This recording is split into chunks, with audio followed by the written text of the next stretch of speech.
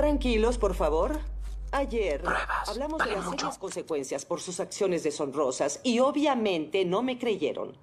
Pero alguien se presentó hoy y se adjudicó la responsabilidad ¿Sabes quién? por un crimen que no cometió. Y aunque aprecio su autosacrificio, no apruebo la deshonestidad. Y es tiempo de que todos sepan que hablo en serio.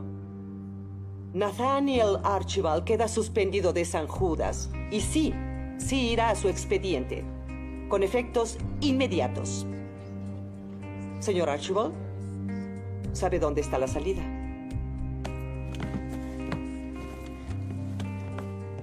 Les tengo un chisme súper reciente. Nate Archibald, hombre sentenciado. Oímos que el San Judas tiene una nueva política, castigo por mentira.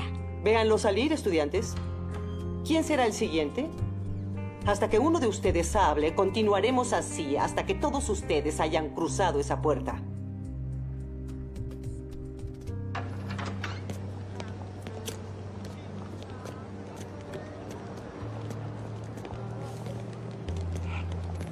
No puedo creerlo. Dan, está bien. Serena, no puedo ser expulsado, no puedo ser suspendido.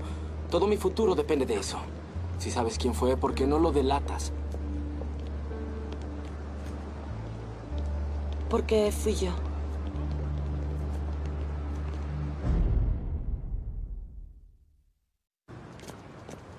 ¿Por qué no me lo dijiste antes? Porque no quería que me juzgaras. ¿No hemos superado eso? No quería que supieras porque no quería que estuvieras en la posición en que estás ahora, donde tienes que decidir entre protegerme o ayudarte a ti. ¿Cómo fue que entraste? Tenía una llave. Una llave de la piscina. No que ya habíamos superado esto. Lo siento.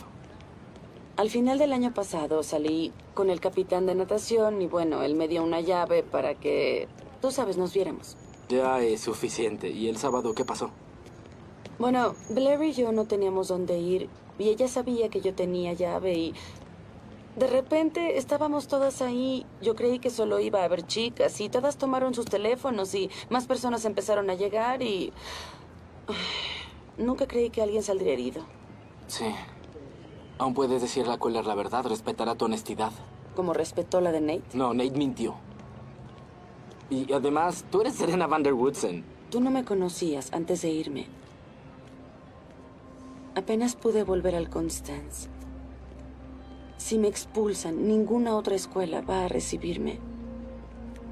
Te aseguro que no es cierto. No quiero volver al internado.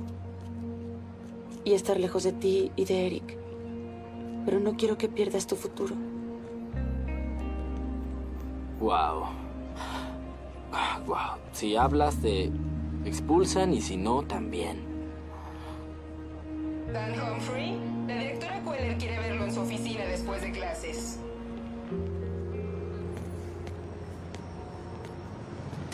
Nate. Hola. ¿Estás bien? Estaré bien, ya que mis padres tienen sus propios asuntos ahora y lo superarán. Como sea, valió la pena. ¿Lo valió? Sí, Blair, tu futuro significa mucho para ti. Trabajaste duro por Yale y todo eso. ¿De qué estás hablando?